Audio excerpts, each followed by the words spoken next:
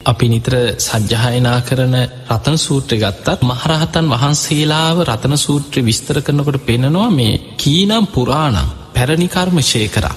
නවන් නත්ති සම්බවන් අනාගතය ආයමත් උපතක් පිණිස අලුතෙන් කර්ම සකස් කරන්නේ නෑ විරත්ත චිත්තා ආයතිකේ බවස්මින් ආයමත් අනාගතය භවයක් පිණිස කර්ම සකස් කරන්නේ නෑ ඒ අයි හරියට අර නිබ්බන්ති දීරා යථායම්පදී පුහරියට පහන්සිලක් නිවිල ගියා වගේ උන්වහන්සේලා මේ අර් තෙලුයි වැටි අවසන් වනාට පස්සේ පහන්සිල නිවිලෑන් අවිද්‍යාව තන්හා ප්‍රහණය වුණට පස්සේ සංසාර ගමන අවසන් වෙලා යනවා. එතකොට එතන පෙන්නන පැරණි කර්ම ශේ වෙලා ඉවර.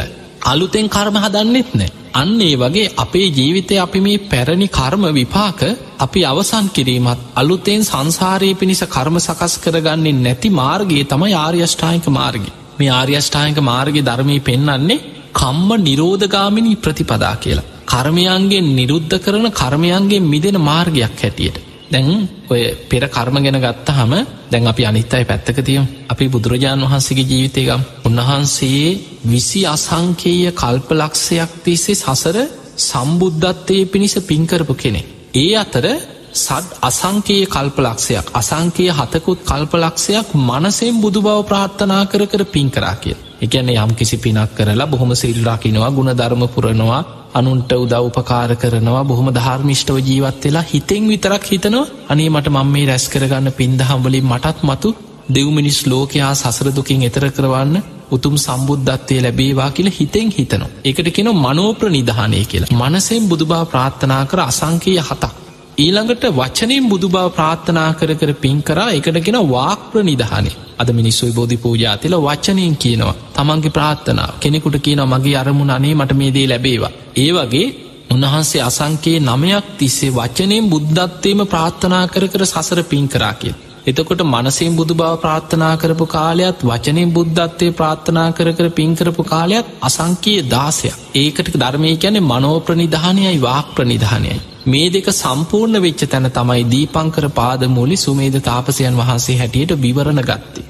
දැම් පෙර බුදුවරුන්ගේ කාලවලත් උන්වහන්සේට බුදුවරු මුණ ගැහුණවේ මනෝ ප්‍රනිධානය පුරනකොට වාක් ප්‍රනිධානය පුරනකොට දහස් ගන බුදුවරු මුණ ගැහෙන හැබැයි ඒ බුදුවරු අනියත විවරණ තමයි කියෙන දෙන්නේ. ඒ ඇන හරියටම නියත විවරණයක් නෙමෙයි ඔබ උත්සාහ කරලා බලන්න උත්සාහකරොත් ඔබට බුදු වෙන්නත් පුළුවන් වෙයි කිය. හරියටම කියන්නේ. හැබැයි හරියටම නියත විවරණ ලැබෙන්නේ මීට සාරා සංකයේ කල්පලක්ෂයකට පෙර දීපංකර පාදමූලේ තමයි සුමේද තාපසයන් වහන්සේ හැටියට එදා අෂ්ට ධර්ම සමවධානයෙන් නියත විවරණ ලැබුව.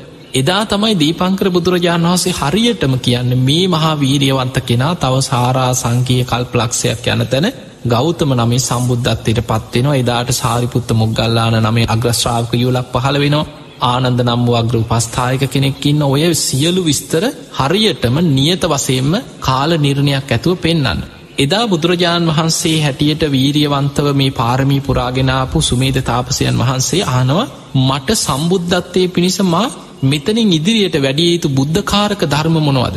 එවෙලේ තමයි දාන සීල නයිස්ක්‍රම්ය ප්‍රඥාවීරිය කන්ති සච්චාධිට්ඨාන මෛත්‍රී උපේකා කියන දසපාරමිතා පාරමී උපපාරමී පරමත්ත පාරමී හැටියට සසර වඩාගෙන යන්න කියලා දීපංකර බුදුරජාණන් වහන්සේ උපදෙස් දෙන්නේ. එතකොට සුමේද තාපසයන් වහන්සේ ඒ ඒ පාරමිතාව දස ආකාරයකට අධිෂ්ඨාන කරා කියන. අද මේ මොහොතේ දම්ම දානපාරමිතාව පාරමී උපපාරමී පරමත්ත පාරමී හැටියට ලෝතුරා සම්බුද්ධත්තේ පිණිස දිවිහිමියෙන් වඩනවා කියලා අධිෂ්ඨාන කරනකොට මහපොලෝ ගිගුරුම් දෙමින් කම්පාවනා ඊළඟට අධිෂ්ඨාන කරාද මේ මොහොතේ දම්මන් සීල පාරමිතාව පාරමී උපපාරමී පරමත්ත පාරමී හැටියට දිවිහිමියෙන් බුක් සම්බුද්ධත්තේ පිණිස පුරනවා කියලා අධිෂ්ඨාන කරනකොට දෙවනි වතාවටත් මහපොලෝ ගිගුරුන් දෙමින් කම්පාවෙනු. ඒ විදියට දස පාරමිතා දස වතාවක් අධිෂ්ඨාන කරා මහපොලෝ දස වතාවක් කම්පාවනා කියන. එතකොට මේ කාලය තුළ සාරා සංකයේ කල්පලක්ෂයක්ම දන් දුන්න. සිල් රැක්කා. නයිස්ක්‍රම්මි පංචකාමයන් අතහැරිය. වීරිය වැඩුව. ප්‍රඥා වීරිය කන්ති ඉවසීම අධිෂ්ඨාන මෛත්‍රිය මේ සියල්ලු ගුණධර්ම වඩාගෙන ඇවිල්ලා උන්හස මේ මහා බද්ධ කල්පේ හතරනි බුදුරජාණන් වහන්සේ හැටියට බුදුනාන් බැයි හිතන්න බුදු වෙලා උන්වහන්සේට නිදහසේ බුදු වෙලා ධර්මී ප්‍රචාරය කරන්න ලැබුණද මොන්න තරන් නින්දා පහසාාවත. එතකොට ඒක තමයි සමාජිස භාවේ පෙර කර්ම විපාක මේ තරම් බුදුවරුන්ටත් පස්සෙන් එනවා කියන්න. සුන්දරී පරිබ්‍රාජිකාව මරලා ජේතවනාරාමය මලකුණ හංගල උන්හන්සේට මිනි මැරුම් චෝදනාවක් එල්ල කර. ඒ විතරන්න මේ දූෂණය කරලා මරලත් මේ ජේතවනේ හංගල තියෙන කියලා අපචාර චෝදන එල්ල කර. සුන්දරීගේ මලකුණ අරගෙන ජේතවනේ ඉස්සරහ මිනිස්සු පෙළපාලිගිය. එතකොට මලකුණක් කුසගෙන පෙළපාලියන්න බුදුගුණ කිය කියනෙවේ පච්චර බුදුරජාණන් වහන්සේට රහතන් වහන්සේලාට පහත් වචනවලින් ගරහන්න නින්ද අපාස කරන්න නැද්ද. එතකොට දානවත් නැතුව දින හතක් පුරා හත්වනි දවස මේක ඇත්ත එලි වුණ හැබැයි පින්න පාතික භික්‍ෂූන් වහන්සේලාට මිනිස්සු මග දිකට බනිනවා නින්දා පහස කරනවා. කොච්චර හිරිහැරවලට ලක්වුණාද ඒ කාල?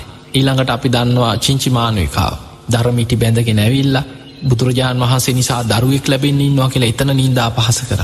ඒ ඊළඟට මාගන්දිය. සුප්‍රබුද්ධ රජ්ජුරු තමන්ගෙම නෑදෑයු මාමණ්ඩියනි. සුප්‍රබුද්ධ. එතකොට පාරහුරගෙන බේබද්ධ එක් ඇවිල්ලා මහා කැත විදිහට නින්දා පහස කර. බුදුරජාණන් වහන්සේගේ ජීවිතයේ පැවිදි වෙච්ච ශ්‍රාවකය අතරින්ම සංගබේද කර. උන්හසට නොේ කිරිහැර පීඩා කර ගල් පෙරලුව අලිකුලප්පු කර ලැව බුදුහාන්දුර මරන් එතකොට මේ මොනතරම් ප්‍රශ්න ගැටලු පීඩනත් එක්කද උන්වහන්සේ මේ ධර්මප්‍රචාරය කරගෙන යන්නේ?